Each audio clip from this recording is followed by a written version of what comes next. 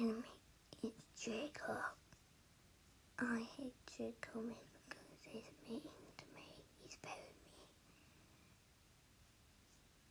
mean. And this, when we were born out with my son, he kept drawing every time. Mm. Oh no, oh no, these are all my friends. That's my cousin, Harvey Newsham. But this is no Newsham. Look, it's not an Xbox anymore. Only Harvey. Also, this is, but also this is Harvey's second account. He used it, but he don't use it no more. So that's it. Enjoy, guys. Peace out.